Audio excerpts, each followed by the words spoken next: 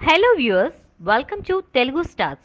నా పేరు సూర్య దెబ్బకు ఏకంగా ఎనిమిది నెలల గ్యాప్ తీసుకున్న స్టైలిష్ స్టార్ అల్లు అర్జున్ వచ్చే నెల నుంచి సెట్స్లోకి అడుగు పెడుతున్నాడు.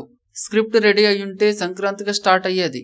కానీ త్రివిక్రమ్ శ్రీనివాస్ అంతకుముందు అనుకున్న రీమేక్ కథ కాకుండా ఫ్రెష్ సబ్జెక్ట్ ఎంచుకోవడంతో ఫైనల్ డ్రాఫ్ట్కు టైం పడుతుంది. ఇంకొద్ది రోజుల్లో అది పూర్తయిపోతుంది.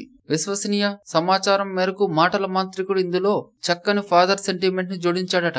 తాను దర్శకత్వం వహించిన అన్ని సినిమాల్లో ఎక్కువగా ఫాదర్ ఎమోషన్స్ చూపించింది బన్నీ సినిమాల్లోనే. జూలైలో తనికెళ్ళబరని ట్రాక్ హృదయంగా అనిపిస్తే సన్ ఆఫ్ సత్యమూర్తిలో ప్రకాష్ రాజు సినిమా మొత్తం లేకపోయినా టైటిల్ మొదలుకొని క్లైమాక్స్ దాకా ఆ పాత్ర అంతర్లీనంగా ప్రయాణం చేస్తూనే ఉంటుంది.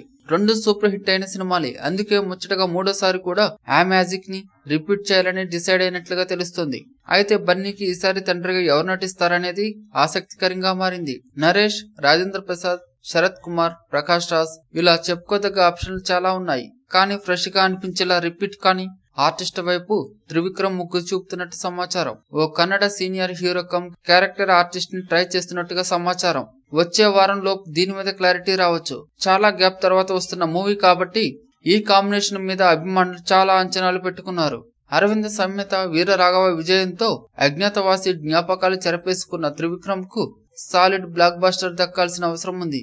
ఆ కొరత ఇది తీరుస్తుందనే భరోసాతోనే ఫ్యాన్స్ కూడా ఎదురు చూస్తున్నారు for more interesting latest movie updates videos and latest movie reviews please subscribe Telugu stars ఈ వీడియో మీకు నచ్చినట్లయితే లైక్ చేయండి.